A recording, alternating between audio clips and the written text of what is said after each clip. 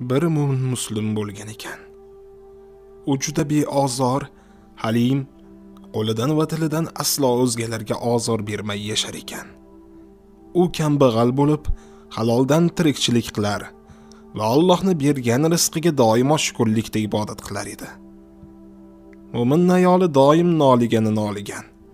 O'zgalarni maqtab falonchini sohibi ko'p pul topadi. Oilasi to'q badavlat ayol har kun har xil kiyinadi.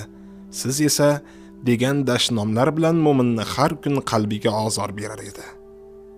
Muslim allohga ibodatini to'xtatmas va ayolini fe'li uchun ham allohga tavbalar qilib kechirishini so'rar edi. Shu alfozda yillar o'tdi. Bir kuni mo'min omborxonasi yonida supada namoz o'qib duo qilib o'tirar edi. Yonida bir kichik kalamush yugurgancha o'tib ketadi.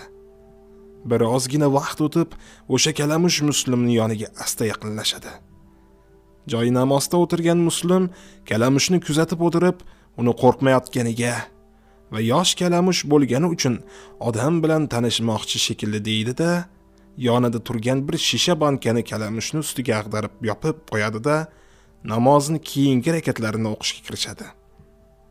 Tabiiyki, kalamush qopqonga tushgandek o'zidan ovoz chiqara boshlaydi. Uni ovozini eshitgan ona kalamush qayerdandir paydo bo'ladi. Holatni bir chetdan kuzatadi.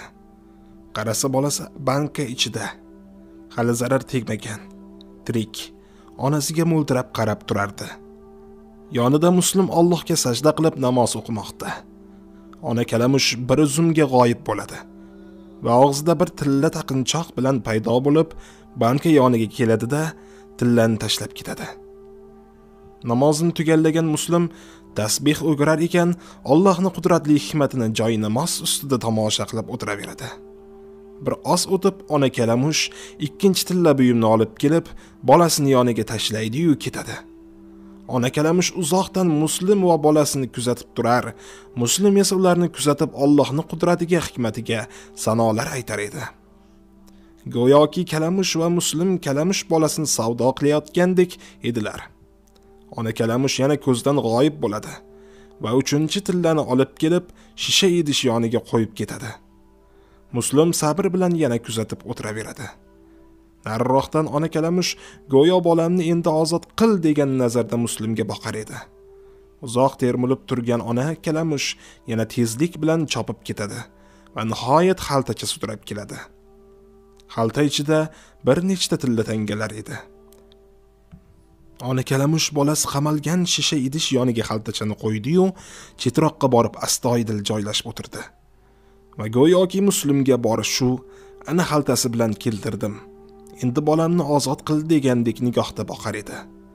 Bu ishlarni kuzatgan muslimni ko'zlaridan tinmay yosh oqa boshladi va shisha idish ostidagi kalamushni bolasini ozod qildi. Kalamushlar chiyillashib ko'zdan g'oyib bo'lishdi. Shu holat ustiga muslimni ayoli keldi va hech gapdan xabari yo'q tilla buyum va tangalarni sanay ketdi. Sohibiga dedi bularni sizga kim berdi? Qayerdan keldi? Qudratli Alloh sen holimizdan noliy berganing uchun g'oyibdan yetkazdi. Nega yig'layapsiz? Xursand bo'lish o'rniga. Ey nodon xotin nega xursand bo'lay? Kalamushni bolasi qopqonga tushdi. Shu bir hayvon kalamushni aqli yetdiki bolasini qutqarish kerak va uni jamg'argan tillasi bilan qutqarishlikni. Biz qabr atalmish qopqonga tushganda u joydan bizni qanday jamg'armamiz qutqarib chiqaradi? Shuni hech o'yladingmi? Der va ko'z yoshi soqolini yuvib yig'lardi.